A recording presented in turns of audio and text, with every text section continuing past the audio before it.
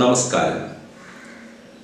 S S L C വിദ്യാർത്ഥികൾക്കായുള്ള ഈ online പഠന പ്രവർത്തനങ്ങളിലേക്ക് എന്റെ എല്ലാ പ്രിയ കൂട്ടുകാർക്കും സ്വാഗതം. കഴിഞ്ഞ ക്ലാസ്സുകളിൽ എഴുത്തച്ഛന്റെ അധ്യാത്മരാമായണം കിളിപ്പാട്ടിലെ ലക്ഷ്മണ സാന്ത്വനം എന്ന ഭാഗത്തു നിന്നുള്ള വരികൾ പാഠഭാഗത്തിൽ നിന്ന് നാം കണ്ടുവരികയായിരുന്നു. വരികൾക്കൊപ്പം പഠന പ്രവർത്തനങ്ങളും ഒക്കെ നാം കഴിഞ്ഞ ക്ലാസ്സുകളിൽ പരിചയപ്പെട്ടു. അതിന്റെ തുടർച്ചയാണ് ഇന്നത്തെ ക്ലാസ്സിൽ. ജീവിതത്തിന്റെ നശ്വരതയെ മനുഷ്യ ജീവിതത്തിന്റെ ക്ഷണികതയെ എഴുത്തച്ഛൻ എത്ര സുന്ദരമായാണ് ആ വരികളിലൂടെ ആവിഷ്കരിക്കുന്നത് എന്ന് നാം കണ്ടു. കേവലം പഠന പ്രവർത്തനത്തിനപ്പുറം ശരിയായ ഒരു മാനുഷിക ദർശനത്തിലേക്ക് ഒരു സാമൂഹിക കാഴ്ചപ്പാടിലേക്ക് എത്താൻ ഈ പാഠം നമ്മെ സഹായിക്കുന്നു എന്നതൊരു സത്യമാണ്. കഴിഞ്ഞു പോയ ക്ലാസ്സുകളിലൂടെ നിങ്ങൾ പരിചയപ്പെട്ട വരികളിൽ നിന്നും എഴുത്തച്ഛൻ കവിതയെ കാലാതീതമാക്കുന്ന ഘടകങ്ങൾ എന്തൊക്കെയാണ് എന്നതും നിങ്ങൾ പരിചയപ്പെട്ടു എന്ന് ഞാൻ ചിന്തിക്കുന്നു. ഇന്ന് നാം അടുത്ത ഭാഗത്തിലേക്ക് കടന്നു വരുന്നു. ഈ ഭാഗം മനുഷ്യ ജീവിതത്തിന്റെ യാദൃച്ഛികതയെ അതോടൊപ്പം മനുഷ്യ ജീവിതത്തിന്റെ തുടർച്ചയില്ലായ്മയെ മുൻപ് ഉള്ള വരികൾ സൂചിപ്പിച്ചതുപോലെ തന്നെ വളരെ പരിചിതമായ ചില ഉപമാ പ്രയോഗങ്ങളിലൂടെ ചൂണ്ടിക്കാണിക്കുകയാണ് എഴുത്തച്ഛൻ ചെയ്യുന്നത്. പുത്രമിത്ര കളത്രാദി സംഗമം എത്രയും അല്പകാലസ്ഥിതം ഓർക്ക പാന്തർ പെരുവഴി അമ്പലം തന്നിലെ താന്തരായി കൂടി വിയോഗം വരും പോലെ. നദ്യാം ഒഴുകുന്ന കാഷ്ടങ്ങൾ പോലെയും എത്രയും ചഞ്ചലം മാലയ സംഗമം. ലക്ഷ്മിയും അസ്ഥിരയല്ലോ മനുഷ്യർക്കു നിൽക്കുമോ യൗവനവും പുനരധ്രുവം. സ്വപ്നസമാനം കളത്ര സുഖം നൃണാം. അല്പമായുസ്സും നിരൂപിക്ക ലക്ഷ്മണ. രാഗാതിസങ്കുലമായുള്ള സംസാരം ആകെ നിരൂപിക്കിൽ സ്വപ്ന തുല്യം സഖേ. ഈ വരികൾ പരിചയപ്പെട്ടതിന് ശേഷം നമുക്ക് അടുത്ത ഭാഗത്തിലേക്ക് പ്രവേശിക്കാം. ആദ്യ ഭാഗത്ത് നാം ഇവിടെ പരിചയപ്പെടുത്തുന്ന അല്ലെങ്കിൽ പരിചയപ്പെടുന്ന ആദ്യ വരികളിൽ മനുഷ്യ ജീവിതത്തിന്റെ യാദൃച്ഛികതയെയാണ് എഴുത്തച്ഛൻ തുറന്നു കാണിക്കുന്നത്. പുത്രമിത്ര കളത്രാദി സംഗമം. പുത്രന്മാർ മിത്ര അല്ലെ മിത്രങ്ങൾ കളത്രം ഭാര്യ തുടങ്ങിയവയോട് കൂടി ചേർന്ന ഒരു കുടുംബം നമ്മുടെ ബന്ധങ്ങൾ അവയോട് കൂടി ചേർന്ന നമ്മുടെ ജീവിതം എത്രയും അല്പകാല സ്ഥിതം ഓർക്ക നീ അത് അല്പകാലം മാത്രം സ്ഥിതി ചെയ്യുന്നതാണെന്നും ആ അല്പകാലത്തെ അല്ലെങ്കിൽ അല്പകാലം മാത്രം സ്ഥിതി ചെയ്യുന്നതാണെന്നും യാദൃച്ഛികമായിട്ട് നാം ഇങ്ങനെ വന്നു ചേർന്നതാണ് എന്ന് കാണിക്കുവാൻ അടുത്ത വരികളിൽ സുന്ദരമായ ഉപമാ ഉപമാപ്രയോഗം നടത്തുന്നു. എന്താണത്? പാന്ധർ പെരുവഴി അമ്പലം തന്നിലെ താന്തരായി വന്നു കൂടി വിയോഗം പോലെ ആ ഭാഗത്ത് പാന്ധർ പാന്ധർ വഴിയാത്രക്കാർ. വഴിയാത്രക്കാർ പെരുവഴി അമ്പലം തന്നിലെ ഈ യാത്രക്കാർക്ക് വിശ്രമിക്കുവാനും മറ്റുമുള്ള സത്രങ്ങൾ. ആ വഴിയാത്രക്കാർ ക്ഷീണിതരായി ഒരു സത്രത്തിൽ വന്നുകൂടി ഒരു രാത്രിയോ മറ്റോ കഴിച്ചു കൂട്ടിയതിനു ശേഷം അവർ പിരിഞ്ഞു പോകുന്നത് പോലെ താന്തർ എന്ന വാക്കിനർത്ഥം ക്ഷീണിതർ.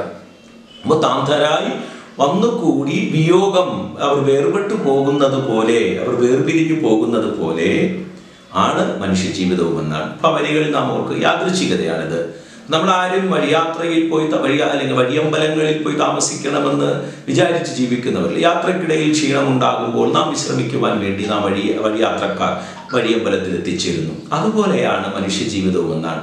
നമ്മൾ ഈ കുടുംബജീവിതം അല്ലെങ്കിൽ മക്കളും ഭാര്യയും സുഹൃത്തുക്കളും ഒക്കെയുള്ള ചേരുന്ന ഈ ഒരു ജീവിതം. ആ ജീവിതം എന്ന് പറയുന്ന ഒരു വഴിയാത്രക്കാരൻ ഒരു സത്രത്തിൽ ഒരു രാത്രിയിൽ വന്നു ചേർന്നതുപോലെ ആ കാര്യങ്ങളൊക്കെ പറഞ്ഞിരിക്കും.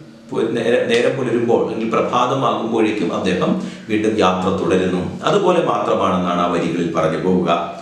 തുടർന്ന് പറയുന്നത് നോക്കൂ. നദ്യാം ഒഴുകുന്ന കാഷ്ടങ്ങൾ പോലെയും എത്രയും ചഞ്ചലമാലയ സംഗമം അടുത്തൊരു ഉപമാ പ്രയോഗം കൂടെ നടത്തുന്നുണ്ട്. നദ്യാം ഒഴുകുന്ന കാഷ്ടങ്ങൾ കാഷ്ടങ്ങൾ എന്നതിന് ഇവിടെ അർത്ഥം തടി തടിക്കഷ്ണങ്ങൾ പൊങ്ങു പൊങ്ങുതടികൾ എന്നൊക്കെ അർത്ഥം.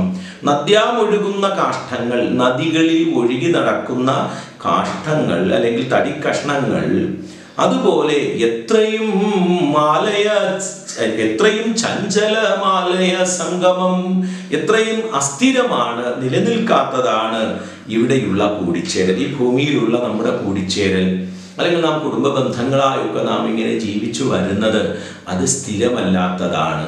അപ്പോൾ ഇവിടെ ആ കാഷ്ടങ്ങൾ അല്ലെങ്കിൽ നദിയിലൂടെ ഒഴുകി നടക്കുന്ന പൊങ്ങുതടി അത് നമ്മൾ ശ്രദ്ധിച്ചാൽ അതിന് അത് അതിന്റെതായ നിലയിലല്ല അത് മുന്നോട്ട് പോകുന്നത്. അല്ലെ? ആ നദിയുടെ ഒഴുക്ക് നദിയുടെ പ്രവാഹത്തിനും അനുസരിച്ച് അത് മുന്നോട്ട് പോകുന്നത് അപ്പോൾ അതിന്റെ ഒഴുക്കിനെ ആ തടിക്കഷ്ണത്തെ പൊങ്ങുതടിയായി നദിയിലൂടെ ഒഴുകി വരുന്ന ആ തടിക്കഷ്ണത്തെ നിയന്ത്രിക്കുന്നത് കാലാവസ്ഥയും നദിയിലെ ജലത്തിന്റെ പ്രവാഹവുമാണ്.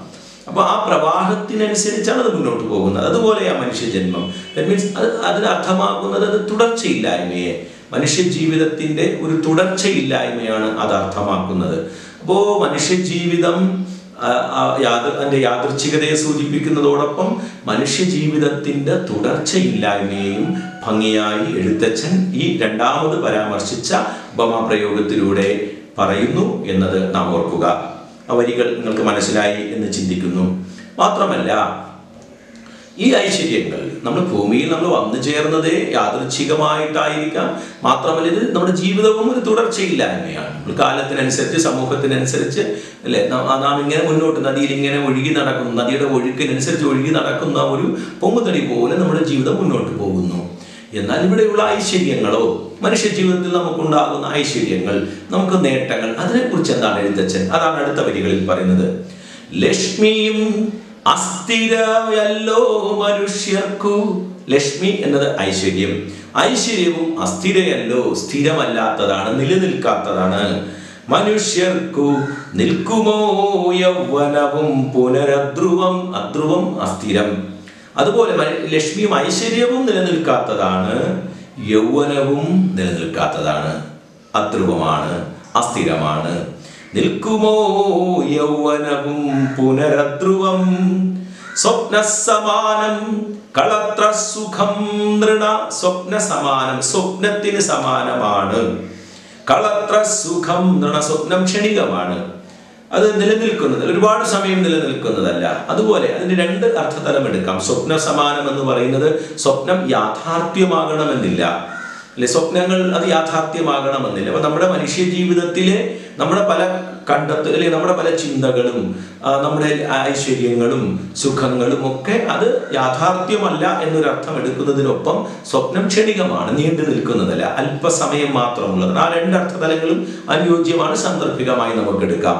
ഇപ്പൊ സ്വപ്ന സമാനം കളത്ര സുഖം നൃണാം അല്പമായുസ്സും നിരൂപിക്ക ലക്ഷ്മണ. അപ്പൊ നമ്മുടെ ആയുസ്സും സ്വപ്ന സമാനമാണ് അല്ലെങ്കിൽ മക്കൾ അല്ലെങ്കിൽ ഭാര്യയോടുകൂടെയുള്ള അല്ലെങ്കിൽ ആ കുടുംബ ജീവിതം നമ്മുടെ ദാമ്പത്യ ജീവിതവും അതും അത് താൽക്കാലികമാണ്. അത് നിലനിൽക്കുന്നതല്ല അൽപായുസാണെന്ന് നീ നിരൂപിക്കുക. നിരൂപിക്ക ലക്ഷ്മണ നിരൂപിക്കുക എന്നാണ്. തുടർന്ന് പറയുന്ന വരികളും മനുഷ്യ ജീവിതത്തിന്റെ നമ്മുടെ മോഹങ്ങളും നമ്മുടെ രാഗങ്ങളെ കുറിച്ചൊക്കെയാണ് അടുത്ത വരികൾ പറയുന്നത്. അതും നമുക്ക് നോക്കാം. രാഗാതി സങ്കുലമായുള്ള സംസാരം ആകെ നിരൂപിക്കിൽ സ്വപ്നതുല്യം സഖേ. എല്ലാം അല്ലേ? ആ നമ്മുടെ സുഖ സൗകര്യങ്ങളൊക്കെ ഒത്തുവരുന്ന എല്ലാ രാഗമോഹ ആദിയായുള്ള ഈ സംസാരം ഈ ലോകമൊക്കെ മൊത്തത്തിൽ നിരൂപിച്ചാൽ ചിന്തിച്ചാൽ സ്വപ്ന തുല്യമാണ് സഖേ. എന്റെ പ്രിയ സഹോദര എന്റെ പ്രിയ കൂട്ടുകാര ഈ പ്രപഞ്ചത്തിൽ കാണുന്നത് അത് കുടുംബമാകട്ടെ സഹോദരങ്ങളാകട്ടെ ബന്ധുക്കളാകട്ടെ ഐശ്വര്യമാകട്ടെ. പിന്നെ നമ്മൾ ഈ രാഗ സുഖ മോഹങ്ങളൊക്കെ ആകട്ടെ എന്തു തന്നെ ആയാലും അതൊക്കെ സ്വപ്ന തുല്യമാണ് അത് ക്ഷണികമാണ് അത് താൽക്കാലികമാണ് അത് നിലനിൽക്കുന്നതല്ല.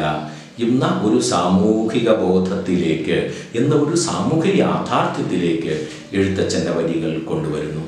അപ്പോൾ ആ വരികൾ ഓർക്കുക. ആ വരികൾക്ക് കാലഘട്ടത്തിന്റെ പ്രസക്തി. പതിനാറാം നൂറ്റാണ്ടിൽ മാത്രമല്ല ഇന്നും ഈ വരികൾക്ക് പ്രാധാന്യമുണ്ട് എന്നതാണ് ഈ വരികളെ കാലാതീതമാക്കുന്നത് എഴുത്തച്ഛന്റെ ചിന്തകളെ കാലാതീതമാക്കുന്നത് എന്ന് ഓർത്തിരിക്കുക. ഇപ്പോൾ നാം പരിചയപ്പെട്ട ഈ വരികളിൽ നിന്ന് പരീക്ഷയ്ക്ക് ചോദിക്കാവുന്ന പ്രധാന പ്രവർത്തനങ്ങളാണ് ഇനി നാം പരിചയപ്പെടുന്നത്. ഞാൻ പറഞ്ഞുവല്ലോ ജീവിതത്തിന്റെ യാദൃച്ഛികതയും അതോടൊപ്പം തുടർച്ചയില്ലായ്മയുമാണ് ആ വരികളിൽ പ്രധാനമായും ആ ഉപമാപ്രയോഗങ്ങളിലൂടെ അർത്ഥമാക്കുന്നത് അല്ലെങ്കിൽ എഴുത്തച്ഛൻ അവതരിപ്പിക്കുന്നത് എന്ന്. പുത്രമിത്ര കളത്രാദി സംഗമം എത്രയും അല്പകാലസ്ഥിതം ഓർക്ക നീ പാന്തർ പെരുവഴി അമ്പലം തന്നിലെ താന്തരായി കൂടി വിയോഗം വരുന്നോ വരും പോലെ എന്ന് പറഞ്ഞു തുടങ്ങുന്ന ഈ വരികളിലെ ചമൽക്കാര ഭംഗി കണ്ടെത്തുക എന്നൊരു പ്രവർത്തനം ചോദിക്കാം. അപ്പോൾ ആ വരികൾ വരുമ്പോൾ തന്നെ ഓർക്കുക ഓരോ ഭാഗവും അല്ലെങ്കിൽ ഓരോ പ്രയോഗവും എഴുത്തച്ഛന്റെ അലങ്കാര പ്രയോഗങ്ങളൊക്കെ ഓരോ സന്ദേശത്തിലേക്ക് ഓരോ വശത്തെയാണ് അത് തുറന്ന് കാണിക്കുന്നത്. ഇവിടെ മനുഷ്യ ജീവിതത്തിന്റെ അല്ലെങ്കിൽ വഴിയം യാദൃച്ഛികതയാണ് അത് സൂചിപ്പിക്കുന്നത് പരിചയപ്പെട്ടല്ലോ എങ്ങനെയാണ് യാദൃച്ഛികത വരുന്നത്? വഴിയമ്പലത്തിലെ കൂട്ടായ്മ. നാം ഒരു സത്രത്തിൽ എത്തിച്ചേരുന്നത് യാദൃച്ഛികമാണ്. നാം അപരിചിതരായി പല ഭാഗത്തു നിന്ന് അവിടെ വന്നുകൂടുന്നു യാദൃച്ഛികമായി നാം പരിചയപ്പെടുന്നു. മറ്റൊരു വശത്ത് അത് താൽക്കാലികവുമാണ്. അത് നിലനിൽക്കുന്നതല്ല അത് സ്ഥിരമുള്ളതല്ല. അപ്പോൾ മനുഷ്യ ജീവിതത്തിന്റെ യാദൃച്ഛികതയെ അതിന്റെ സ്ഥിരതയില്ലായ്മയെ ഒക്കെ അതിൽ അലങ്കാരികമായി അവതരിപ്പിക്കുന്നു സുന്ദരമായി അവതരിപ്പിക്കുന്നു. പിന്നെ ആ നദികളുടെ പ്രയോഗത്തിലേക്ക് വരുമ്പോൾ അല്ലെ? നദ്യാമൊഴുകുന്ന കാഷ്ടങ്ങൾ പോലവേ എന്ന് തുടങ്ങി വരുന്ന വരികളിൽ മനുഷ്യ ജീവിതത്തിന്റെ തുടർച്ചയില്ലായ്മയാണ് അവിടെ സൂചിപ്പിക്കുന്നത്. അപ്പോൾ ഒരേ കാര്യത്തെ തന്നെ മനുഷ്യ ജീവിതത്തെ തന്നെ അതിന്റെ ക്ഷണികതയും അതിന്റെ യാദൃച്ഛികതയും അതിന്റെ തുടർച്ചയില്ലായ്മയും ഒക്കെ അവതരിപ്പിക്കാൻ ആവർത്തിച്ചുള്ള ഒന്നിലധികം ഉപമാ പ്രയോഗങ്ങൾ എഴുത്തച്ഛൻ വരികളിൽ ഉപയോഗിക്കുന്നുണ്ട്. അപ്പോൾ എന്തുകൊണ്ടാണ് ഇത്തരത്തിൽ ഒരുപാട് അലങ്കാര പ്രയോഗങ്ങളിലൂടെ ഉപമാ പ്രയോഗങ്ങളിലൂടെ ഈ ആശയത്തെ എഴുത്തച്ഛൻ പറഞ്ഞു പോകുന്നത് എന്നത് നാം ശ്രദ്ധിക്കണം. കാരണം ലോക ജീവിതത്തിലുള്ള അസ്ഥിരതയും അനിശ്ചിതത്വവും കാണിക്കാൻ വേണ്ടിയാണ് ഇത്തരത്തിൽ ഒന്നിലധികം അലങ്കാര പ്രയോഗങ്ങളിൽ ഉപമാ പ്രയോഗങ്ങളിലൂടെ എഴുത്തച്ഛൻ ഈ ആശയത്തെ മുന്നോട്ട് വയ്ക്കുന്നത് എന്നതാണ്.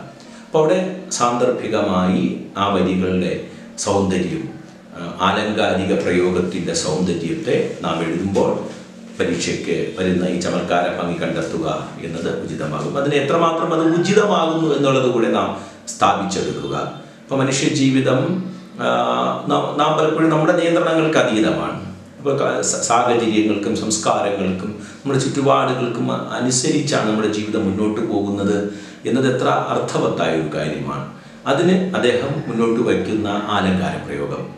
അല്ലെ നദിയിൽ ഇങ്ങനെ ഒഴുകി നടക്കുന്ന ഒരു മരക്കഷ്ണത്തിന്റെ അവസ്ഥ. അത് തുടർച്ചയില്ലായ്മയാണ്. അത് അതിൽ തന്നെ അതിന്റെ ശക്തി കൊണ്ടോ അതിന്റെ നിയന്ത്രണത്തിനനുസരിച്ചല്ല അത് പോകുന്നത്. അത് യാദൃച്ഛികമായി ഉണ്ടാകുന്ന ഒഴുക്കിന്റെ പ്രവാഹത്തിനനുസരിച്ച് അത് എങ്ങോട്ട് വേണോ പോകാം. മാത്രമല്ല ഒരു കൂട്ടം മരക്കഷ്ണങ്ങൾ ഒരുമിച്ച് വന്നാലും അവയ്ക്ക് ഒരുമിച്ച് പോകാൻ കഴിയില്ല.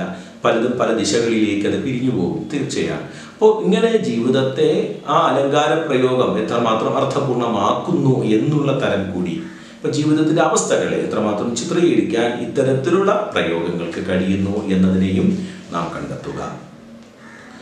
ഇത് കാണുമ്പോൾ തന്നെ മുൻപുൾ മുൻപ് ധാരാളം ഉപമാ പ്രയോഗങ്ങൾ എഴുത്തച്ഛന്റെതായി നാം പരിചയപ്പെട്ടിട്ടുണ്ട്.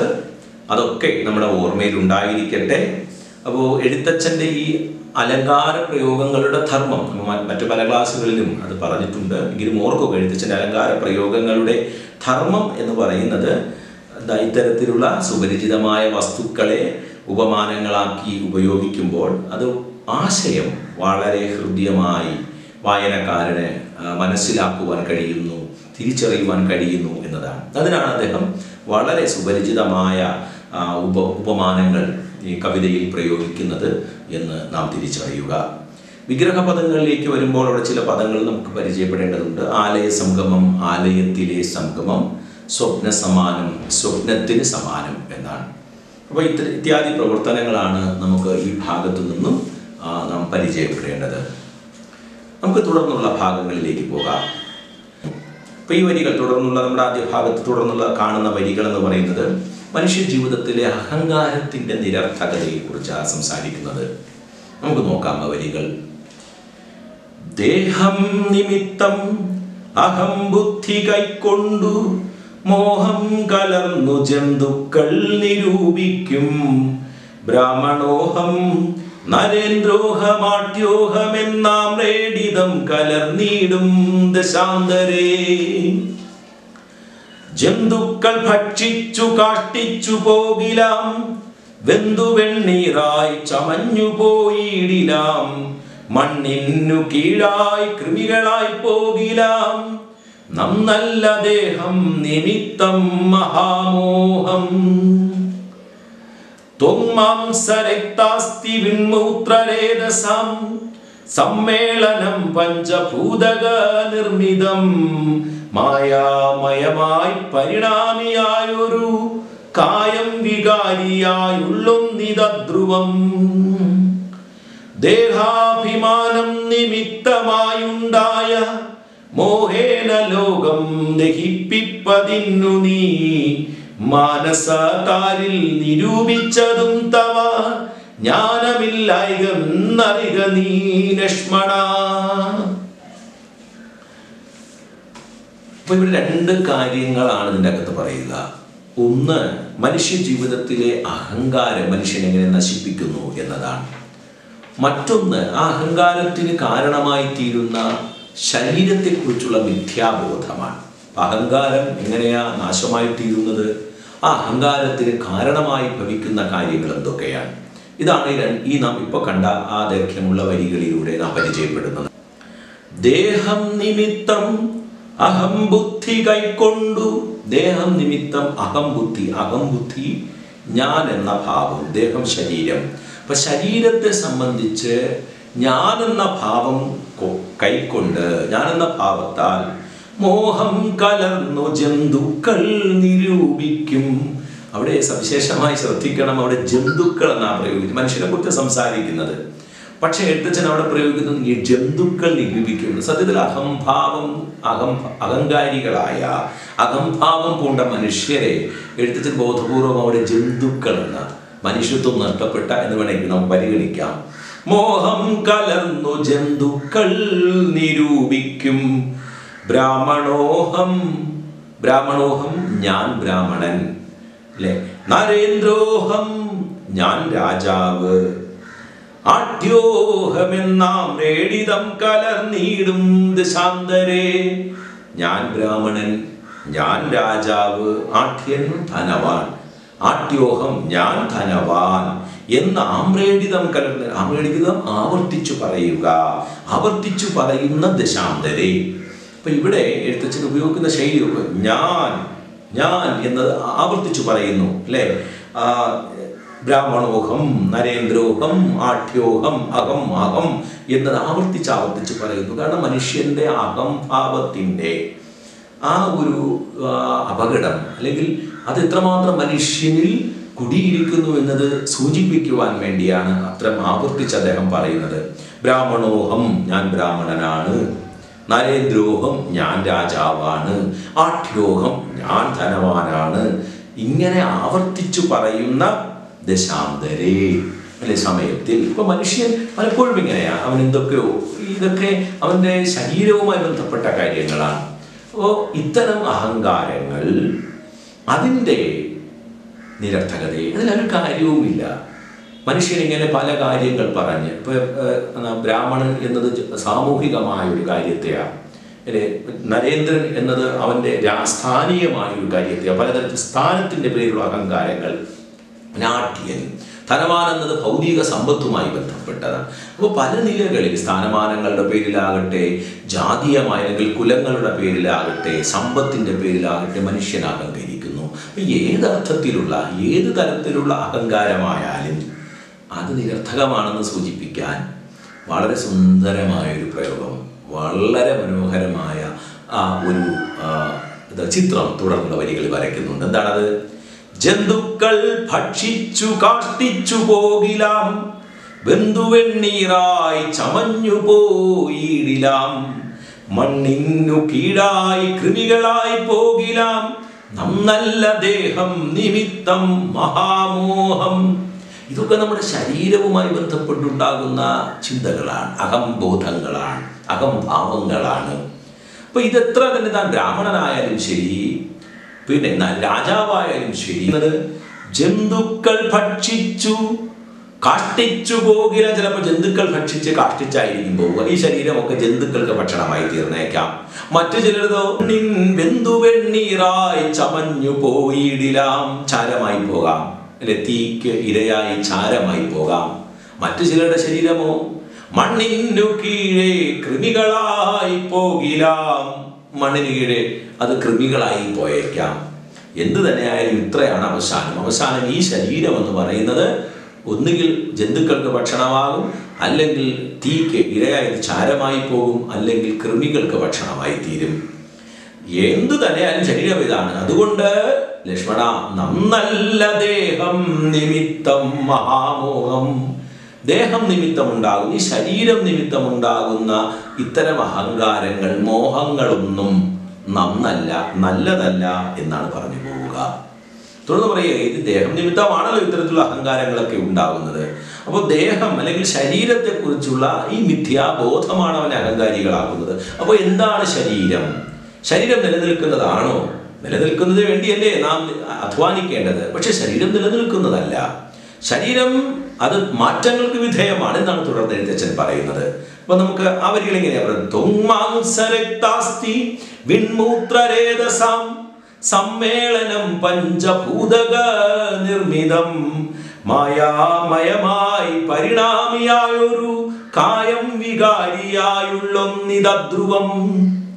ശരീരം നിലനിൽക്കുന്നതല്ല.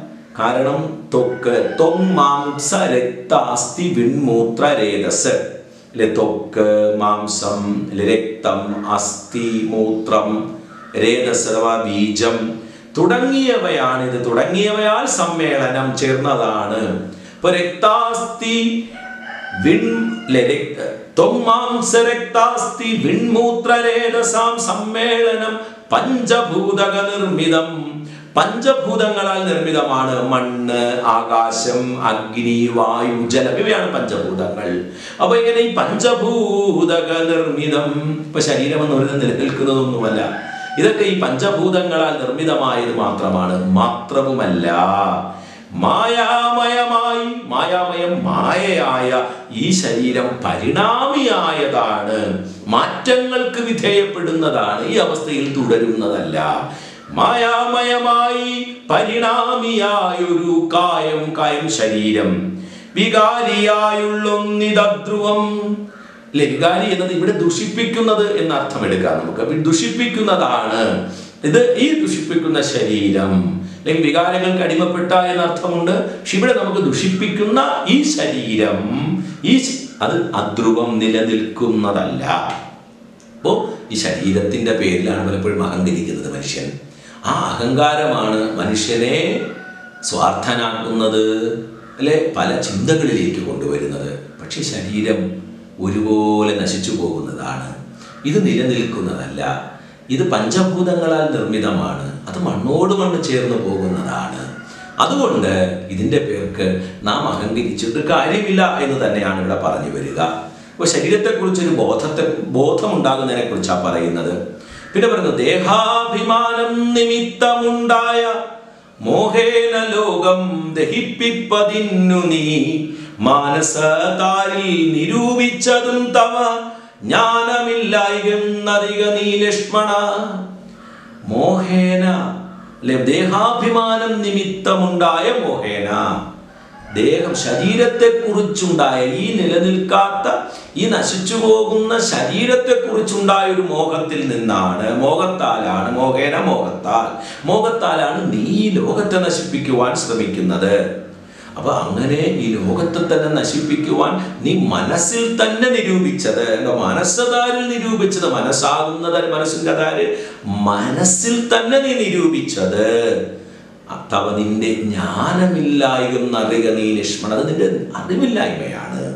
ജ്ഞാനമില്ലായ്മയാണ്. അപ്പോൾ ശരീരത്തെക്കുറിച്ച് ഉള്ള മിഥ്യാധാരണയാണ് അഹങ്കാരത്തിന് കാരണമാകുന്നതെന്നും അപ്പൊ ശരീരം നിലനിൽക്കുന്നതല്ല എന്ന ഒരു ബോധം പലപ്പോഴും നമുക്കില്ല എന്നും. ലക്ഷ്മണ നീയും ഇപ്പോൾ ഈ ലോകത്തെ നശിപ്പിക്കുവാൻ വേണ്ടി മനസ്സിൽ ചിന്തിച്ചത് നീ ആഗ്രഹിച്ചത് നീ ശരീരത്തെക്കുറിച്ചുള്ള ശരിയായ ബോധമില്ലാത്തത് കൊണ്ടാണ്. ഇത് ജ്ഞാനമല്ല അത് നിന്റെ അജ്ഞാനമാണ്. അപ്പൊ ജ്ഞാനമല്ല എന്ന് നീ അറിയുക എന്ന് പറഞ്ഞിട്ട് തുടർന്ന് ശരീരത്തെക്കുറിച്ച് ശരിയായ അറിവിനെക്കുറിച്ച് ശരിയായ വിദ്യാഭ്യാസത്തെക്കുറിച്ച് എഴുത്തച്ഛൻ സംസാരിക്കുന്നു.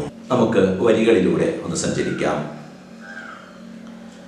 ദോഷങ്ങളൊക്കവേ ദേഹാഭിമാനിനാം രോഷേണ വന്നു ഭവിക്കുന്നതോർക്ക നീ ദേഹോഹമെന്നുള്ള ബുദ്ധി മനുഷ്യർക്കു മോഹമാതാവാം അവിദ്യയാകുന്നതും ദേഹമല്ലോർക്കിൽ ഞാനായതാത്മാവെന്നു മോഹൈകകന്ത്രിയായുള്ളതു വിദ്യ കേൾ സംസാരകാരിണിയായത വിദ്യയും സംസാരനാശിനിയായതു വിദ്യയും ആകയാൽ മോക്ഷാർത്ഥിയാകിൽ വിദ്യാഭ്യാസം ഏകാന്ത ചേതസാ ചെയ്യുക വേണ്ടുന്നതും.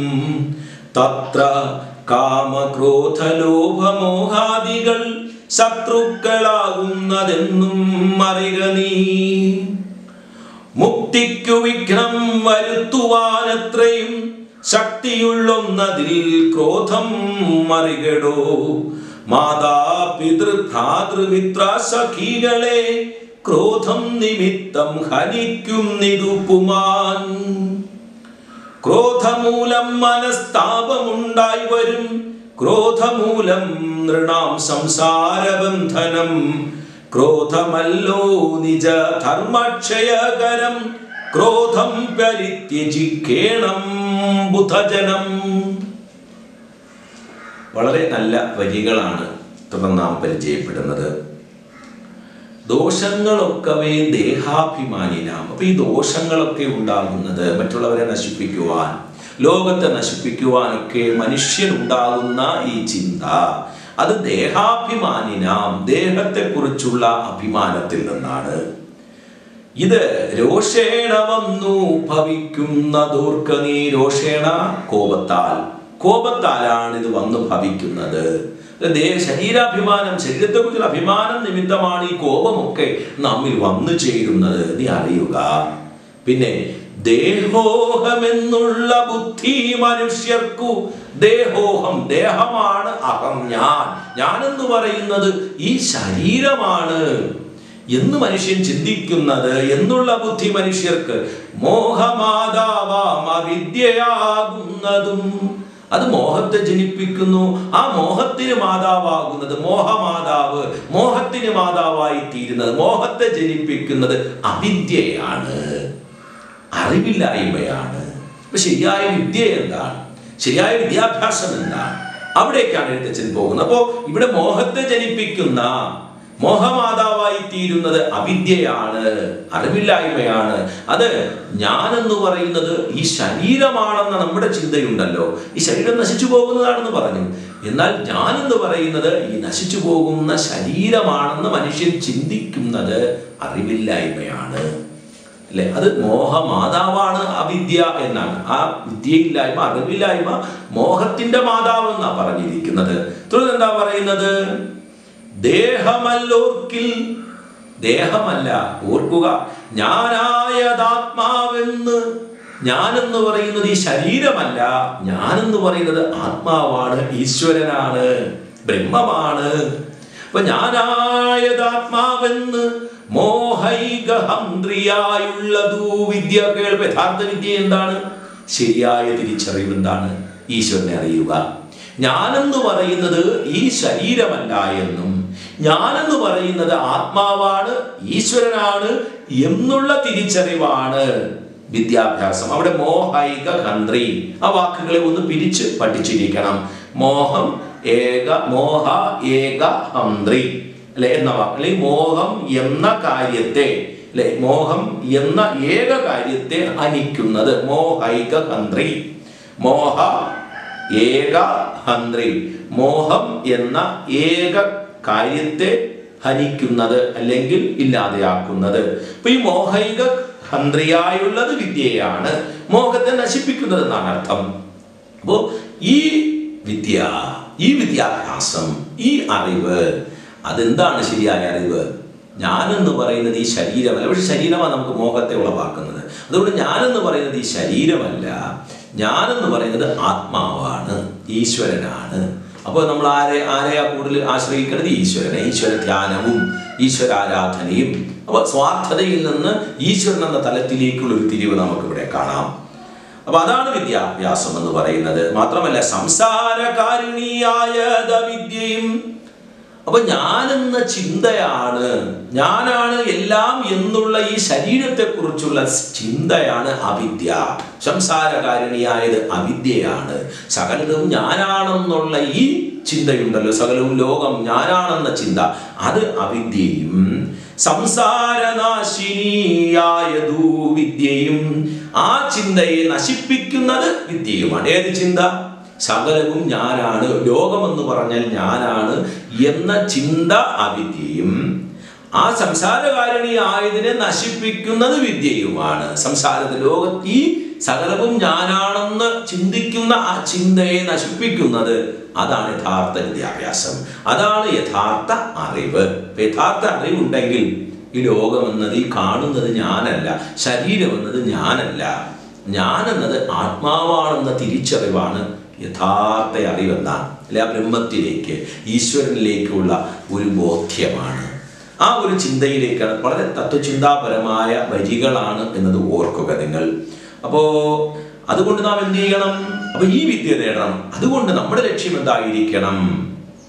ആകയാൽ മോക്ഷാർത്ഥിയാകിൽ മോക്ഷം ആഗ്രഹിക്കുന്നവരാണെങ്കിൽ അതുകൊണ്ട് നീ മോക്ഷാർത്ഥിയാകുന്നു എങ്കിൽ മോക്ഷം ആഗ്രഹിക്കുന്നവരാണെങ്കിൽ നീ വിദ്യാഭ്യാസം ഏകാന്ത ചേതസാ ചെയ്യുക വേണ്ടുന്നതും നീ ഏകാന്തമായ മനസ്സോടുകൂടെ നീ വിദ്യാഭ്യാസം ചെയ്യണം. നിന്റെ വിദ്യാഭ്യാസം ഏകാന്ത മനസ്സോടുകൂടി ഈശ്വര ചിന്തയായിരിക്കണം ഈശ്വരൻ അല്ലെങ്കിൽ ആ ആത്മാവിനെ കാണുന്നതായിരിക്കണം ധ്യാനമായിരിക്കണം. ഏകാന്തമായ മനസ്സോടുകൂടി നീ ശരിയായ വിദ്യാഭ്യാസം ചെയ്യണം. അല്ലേ അവിടെ അങ്ങനെയുള്ള വിദ്യാഭ്യാസം ചെയ്യുന്നിടത്ത് അങ്ങനെ മോക്ഷം ആഗ്രഹിക്കുന്നവരെ സംബന്ധിച്ച് അവർ ഈ ശരീരമല്ല നിലനിൽക്കുന്നത് ഈശ്വരനാണെന്നും ആ ഈശ്വരൻ ആത്മാവ് എന്ന് പറയുന്ന തിരിച്ചറിവ് നമുക്ക് ഉണ്ടാകുമ്പോൾ അതിനുവേണ്ടി ഞാൻ ഏകാന്തമായ മനസ്സോടുകൂടി ഞാൻ അതിനുവേണ്ടി അഭ്യസിക്കുമെന്നും അങ്ങനെയുള്ള സ്ഥലത്ത് അങ്ങനെ മോക്ഷം ആഗ്രഹിക്കുന്ന ഇടത്ത് ചില ശത്രുക്കളുണ്ട്. മോക്ഷത്തിന് ശത്രുക്കളുണ്ട്. ഏകാന്ത മാനസർക്ക് ചില ശത്രുക്കളുണ്ട്. അതാരാണ് ആ ശത്രുക്കൾ? തത്ര അവിടെ കാമക്രോധലോഭമോഹാദികൾ. കാമം ക്രോധം ലോഭം മോഹം ആദിയായവ. അല്ലെ ഇവിടെ ഇവയാണ് നമുക്ക് അഷ്ടരാഗങ്ങൾ എന്ന് പറയുന്നത്. ഈ അഷ്ടരാഗങ്ങളിൽ ഒന്നാണ് ഈ ലോഭം എന്ന് പറയുന്നത്. അതായത് കാമം ക്രോധം ലോഭം മോഹം മദം മാത്സര്യം ഡംഭം അസൂയ. ഇവയാണ് അഷ്ടരാഗങ്ങൾ. അപ്പൊ ഇവിടെ തത്ര അവിടെ ആരൊക്കെ ഈ അഷ്ടരാഗങ്ങളൊക്കെ അവിടെ ശത്രുക്കളാ? കാമ ക്രോധ ലോഭമോഗാദികൾ ശത്രുക്കളാകുന്നതെന്നറിക നീ. നീ അവിടെ ഈ കാമവും ക്രോധവും ലോഭവും മോഹവും ഡംഭവും അസൂയയും ഒക്കെ ശത്രുക്കളാ. അവിടെ ഇവരൊക്കെ ശത്രുക്കളാണെന്ന് അറിയുക നീ. മുക്തിക്കു വിഘ്നം വരുത്തുവാനത്രയും ശക്തിയുള്ളൊന്നതിൽ അതിൽ ക്രോധം മറികടോ. ഇതിൽ ഈ അഷ്ടരാഗങ്ങളിൽ മോക്ഷത്തിന് തടസ്സം വരുത്താൻ ഇവിടെ അനേക ശത്രുക്കളുണ്ട്. അഷ്ടരാഗങ്ങളാണ്. ഈ അഷ്ടരാഗങ്ങളിൽ മോക്ഷത്തിന് തടസ്സം വരുത്തുന്നത് മുക്തിക്ക് വിഘ്നം വരുത്തുവാൻ വളരെ ശക്തിയുള്ള ഒരു കാര്യം. എത്രയും ശക്തിയുള്ള കാര്യം അത് ക്രോധമാണ്. ദേഷ്യമാണ്. ക്രോധം അഥവാ പക എന്ന് പറയും. ക്രോധം പക. പകയാണെന്ന് ക്രോധം മറികടോ മാതാപിതൃ ഭ്രാതൃ മിത്ര സഖികളെ മാതാവിനെയും പിതാവിനെയും മിത്രങ്ങളെയും കൂട്ടുകാരെയും ലേ ആ ഒക്കെ ക്രോധം നിമിത്തം ഹനിക്കും പുമാൻ. പുമാൻ പുരുഷൻ ഹനിക്കുക കൊല്ലുക. അപ്പൊ ബന്ധുക്കളെയോ മിത്രങ്ങളെയോ സുഹൃത്തുക്കളെയോ മക്കളെയോ ഭാര്യയോ ഒക്കെ മനുഷ്യൻ കൊല്ലുന്ന ഒരു മനസാക്ഷിയില്ലാത്തൊരു ലോകത്താണ്. അപ്പൊ വർത്തമാന കാലത്തിൽ വരികൾ പ്രസക്തമാണ്. മനുഷ്യൻ കൊലപാതകികളായി മാറുന്നത് എന്തുകൊണ്ടാണ് മനുഷ്യൻ കൊലപാതകികളായി മാറുന്നത്? വളരെ ലളിതമാണ് ഇവിടെ എഴുത്തച്ഛൻ പറയുന്നു. അവൻ അവന്റെ തിരിച്ചറിവില്ലായ്മയാണ്. അവന്റെ ക്രോധമാണ്. അപ്പം ഈ ക്രോധം നിമിത്തം മനുഷ്യൻ അവൻ എന്ത് ചെയ്യുന്നു? അവൻ കൊല ചെയ്യുന്നു. മാത്രമല്ല അവിടെ എന്ത് സംഭവിക്കുന്നു? ക്രോധം നിമിത്തം ഉണ്ടാകുന്ന കഷ്ടപ്പാടുകളെ കുറിച്ച് പറയുന്നത്. ഓരോന്നായി പറയുന്നു. ഒന്ന് നമുക്കത് മോക്ഷത്തെ തടസ്സം ചെയ്യുന്നു. മോക്ഷം ലഭിക്കാതെ പോകുന്നു. രണ്ട് ക്രോധം നിമിത്തം നമ്മൾ വേണ്ടപ്പെട്ടവർ ഏറ്റവും നമുക്ക് വേണ്ടപ്പെട്ടവരെ പോലും നാം എന്ത് ചെയ്യുന്നു? നാം ഹരിക്കുന്നു നാം കൊന്നുകളയുന്നു. മറ്റൊന്ന് ക്രോധം മൂലം മനസ്താപമുണ്ടായി വരും. നമുക്ക് മനസ്സിന് ദുഃഖമുണ്ടാകും മനസ്താപമുണ്ടാകും ക്രോധം നിമിത്തം. മാത്രമല്ല ക്രോധമൂലം നൃണാം സംസാരബന്ധനം. ലോകത്തിൽ ലോകത്തിൽ തന്നെ നമുക്ക് നാശമുണ്ടാകുന്നു. ക്രോധമല്ലോ നിജ ധർമ്മക്ഷയകരം ക്രോധം പരിത്യജിക്കേണം ബുധജനം. അതുകൊണ്ട് ക്രോധത്തെ ഉപേക്ഷിക്കണം ക്രോധം ധർമ്മത്തെ ക്ഷയിപ്പിക്കും ധർമ്മക്ഷയകരം ധർമ്മത്തെ നശിപ്പിക്കും ക്ഷയിപ്പിക്കും ക്രോധം. അതുകൊണ്ട് ക്രോധം പരിത്യജിക്കണം ക്രോധം ഉപേക്ഷിക്കണം ബുധജനം ബുധജനം ബുദ്ധിയുള്ളവർ. ക്രോധത്തിന്റെ കോപത്തിന്റെ ദൂഷ്യവശങ്ങൾ. കോപം മൂലം മനുഷ്യകുലത്തിനുണ്ടാകുന്ന നാശം ഈ വരികളിൽ എഴുത്തച്ഛൻ ഭംഗിയായി അവതരിപ്പിക്കുന്നുണ്ട്. ക്രോധത്തെക്കുറിച്ച് ഒരു ആമുഖ പ്രസംഗമോ ക്രോധം മൂലമുണ്ടാകുന്ന ദോഷത്തെക്കുറിച്ച് ഒരു പ്രസംഗമോ ഒരു ഉപന്യാസമോ ഒക്കെ ചോദിക്കാം. ഇപ്പോൾ ക്രോധം മൂലം മനുഷ്യനുണ്ടാകുന്ന നഷ്ടങ്ങൾ അവന്റെ മോക്ഷം അവന് നഷ്ടമായി തീരുന്നു മാത്രമല്ല അവന് തന്നെ സ്വസ്ഥത നഷ്ടപ്പെടുന്നു. കാരണം അവൻ കുല കൊലപാതകങ്ങൾ ചെയ്യുവാൻ അവൻ തയ്യാറാകുന്നു. ക്രോധമാണ് കോപമാണ് ഇതിന് കാരണം. ആരുന്നില്ല അല്ലേ? അവൻ കൊല ചെയ്യുന്നവനായി മാറുന്നു. ഇത്തരത്തിൽ മനുഷ്യന് ക്രോധം നിമിത്തം അവന്റെ ധർമ്മമെല്ലാം ക്ഷയിച്ച് എല്ലാ ധാർമ്മികതയും നഷ്ടപ്പെടുത്തി അവൻ പൂർണമായി മനുഷ്യത്വം നഷ്ടപ്പെട്ടൊരു മൃഗമായി മാറും. അതുകൊണ്ട് ബുദ്ധിയുള്ളവർ ക്രോധം ഉപേക്ഷിക്കണം. മനുഷ്യ ജീവിതത്തിൽ കോപം നിമിത്തം ഉണ്ടാകുന്ന നഷ്ടങ്ങൾ എന്തുമാത്രമാണ് എന്ന് ഈ വരികളുടെ അവസാന ഭാഗത്തിലൂടെ എഴുത്തച്ഛൻ അവതരിപ്പിക്കുന്നു. അപ്പോൾ ആ കോപം നിമിത്തം ഉണ്ടാകുന്ന ദോഷങ്ങളെ ഒക്കെ പറഞ്ഞുകൊണ്ടാണ് കാവ്യഭാഗം അവസാനിക്കുന്നത്. അപ്പോൾ ഇതിൽ നിന്ന് ധാരാളം പഠന പ്രവർത്തനങ്ങൾ പരീക്ഷാ നമുക്ക് കാണാൻ കഴിയും. പ്രധാനമായും ചില വിഗ്രഹ പദങ്ങളെ നാം ആദ്യം പരിചയപ്പെടുക. ദേഹാഭിമാനം ദേഹത്തെക്കുറിച്ചുള്ള അഭിമാനം മാനസതാര് മനസ്സാകുന്ന താര് അതുപോലെ അഹം ബുദ്ധി അഹം എന്ന ബുദ്ധി. മറ്റൊരു ചോദ്യം എന്ന് പറയുന്നത് ഈ വരികളിൽ കാണുന്ന കാവ്യ ഭാഷയുടെ സവിശേഷത അല്ലെ കാവ്യപരമായ സവിശേഷത. അപ്പോൾ പ്രധാനമായും ഇതിന്റെ ഭാഷാ സവിശേഷത ചോദിക്കാം അതോടൊപ്പം കാവ്യ സവിശേഷതയും ചോദിക്കാം ആശയത്തിന്റെ ഒരു സവിശേഷത. അപ്പോൾ എഴുത്തച്ഛന്റെ വരികളെല്ലാം പ്രത്യേകിച്ച് ഈ ഭാഗങ്ങളിൽ കാണുന്നതെല്ലാം തത്വചിന്താപരമായൊരു സമീപനമാണെന്ന് നമുക്കറിയാമല്ലോ. അപ്പോൾ ഇതിലെ തത്വചിന്തയുണ്ട്.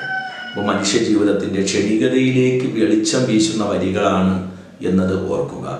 അപ്പോൾ പല കാര്യങ്ങൾ പറഞ്ഞ് അഹങ്കരിക്കുന്ന മനുഷ്യൻ അവൻ തിരിച്ചറിയുന്നില്ല. തന്റെ ശരീരം കേവലം പഞ്ചഭൂത നിർമ്മിതമാണെന്നും മനുഷ്യ ശരീരത്തിന്റെ അവസാനം അതെല്ലാം ഒരുപോലെയാണെന്നും മനുഷ്യരെല്ലാം ഒരുപോലെയാണെന്നും അത് മണ്ണോട് മണ്ണ് ചേരുന്നതോ ചാരമായി പോകുന്നതോ ജന്തുക്കൾ ഭക്ഷിച്ച് കാഷ്ടമായി അങ്ങനെ മണ്ണിൽ ചേരുന്നതോ ഒക്കെയാണെന്നും മാത്രം ആ തിരിച്ചറിവ് ഇല്ലാതെ പോകുന്നു. അവിടെ ഒരു ഭാഷാപരമായ സവിശേഷത ഞാൻ പഠിപ്പിച്ചപ്പോൾ പറഞ്ഞിരുന്നു. അത് ബ്രാഹ്മണോഹം നരേന്ദ്രോഹം ആഠ്യോഹം എന്നിങ്ങനെ ഈ അഹം എന്ന പദം ആവർത്തിച്ച് പദ പറയുന്ന അത് ഓർക്ക. പുസ്തകത്തിലെ ഒരു പ്രവർത്തനമാണ്. അവിടെ ഈ ആവർത്തിച്ച് പറയുന്നതിലൂടെ ഞാൻ എന്ന ഭാവത്തെ മനുഷ്യരിൽ പല രൂപങ്ങളിൽ പല കാര്യങ്ങളിൽ അവരിൽ നിലനിൽക്കുന്ന ഞാൻ എന്ന അഹം ഞാൻ എന്ന ഭാവത്തെ തുറന്നു കാണിക്കാൻ ഇവിടെ ആ വരികൾക്ക് കഴിയുന്നുണ്ട് ആ പ്രയോഗങ്ങൾക്ക് കഴിയുന്നുണ്ട്. മാത്രമല്ല തുടർന്ന് അദ്ദേഹം പറയുന്നത് ആരായാലും ശരി മരണത്തിന്റെ മുൻപിൽ സമന്മാരാണ് എന്ന് തുറന്നു പറയുന്നു. അപ്പോൾ അത്തരത്തിൽ ആ കാവ്യ സവിശേഷതയും അതിലെ തത്വചിന്തയെയും നാം തിരിച്ചറിയുക. പിന്നെ മനുഷ്യ ശരീരത്തെക്കുറിച്ചുള്ള എഴുത്തച്ഛന്റെ ചിന്തകൾ. അതും ഈ വരികളിൽ നാം കണ്ടെത്തണം. മനുഷ്യ ശരീരത്തെക്കുറിച്ച് ത്വക്ക് മാംസം രക്തം അസ്ഥി മൂത്രം രേതസ് അല്ലെ തുടങ്ങിയവ ചേർന്നതാണെന്നും പഞ്ചഭൂത നിർമ്മിതം മാത്രമാണെന്നും ഇത് നിരന്തരം മാറുന്നതാണ് മാറ്റങ്ങൾക്ക് വിധേയപ്പെടുന്നതാണ് മനുഷ്യ ശരീരം നിലനിൽക്കുന്നതല്ല എന്നതും എഴുത്തച്ഛൻ പങ്കുവയ്ക്കുന്നുണ്ട്. അപ്പോൾ ആ വരികൾ മനുഷ്യ ശരീരത്തെക്കുറിച്ചുള്ള എഴുത്തച്ഛന്റെ കാഴ്ചപ്പാടുകൾ നാം ഈ ഭാഗത്ത് നിന്ന് നാം പ്രത്യേകിച്ച് ഓർത്തെടുക്കണം. പിന്നെ എഴുത്തച്ഛൻ ഇവിടെ പറയുന്ന ഒരു പ്രധാനപ്പെട്ട പ്രവർത്തനം മോക്ഷപ്രാപ്തിക്ക് വഴി എഴുത്തച്ഛൻ പറയുന്നുണ്ട്. ഇല്ലേ? മാത്രമല്ല വിദ്യയെക്കുറിച്ചും അവിദ്യയെക്കുറിച്ചും സംസാരിക്കും ഏതുകൊണ്ട് ചോദിക്കാം? മോക്ഷപ്രാപ്തിക്കുള്ള മാർഗം അല്ലെങ്കിൽ മോക്ഷത്തിന് തടസ്സമായി നിൽക്കുന്ന കാര്യങ്ങളെക്കുറിച്ചുള്ള എഴുത്തച്ഛന്റെ കണ്ടെത്തലുകൾ. വിദ്യ എന്ന് പറഞ്ഞാൽ അവിദ്യ എന്ന് പറഞ്ഞാൽ എന്താണ് എന്നതിനെക്കുറിച്ച്. അപ്പോൾ ആ വരികൾ നമ്മൾ പാഠഭാഗത്ത് തന്നെ കണ്ടെത്താൻ കഴിയും. നമുക്ക് ദേഹത്തെക്കുറിച്ചുള്ള മിഥ്യാബോധമാണ് സത്യത്തിൽ അവിദ്യ. അല്ലേ? അപ്പോൾ അവിദ്യ എന്ന് പറയുന്നത് വിദ്യാ ശരിക്ക് വിദ്യാഭ്യാസം ചെയ്യുന്നതാണ്. അല്ലെങ്കിൽ ശരീരത്തെക്കുറിച്ചുള്ള ശരിയായ ബോധമാണ് വിദ്യ എന്ന് പറയുന്നത്. അപ്പോൾ ഞാൻ ദേഹമാണെന്ന് ചിന്തിക്കുന്നത് അത് അവിദ്യയാണ്. ഞാനെന്ന് പറയുന്നത് ദേഹമല്ല.